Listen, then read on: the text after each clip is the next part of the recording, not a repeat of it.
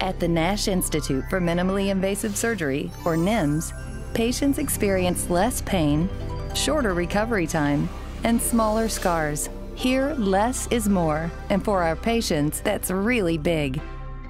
At Nash, minimally invasive surgery means Ron's back in it for the long haul. Patricia's itty bitty scars allow for a teeny weeny bikini. And Amy's new slimmer ensemble includes matching gloves and helmet. At Nash, it's all about how we treat you.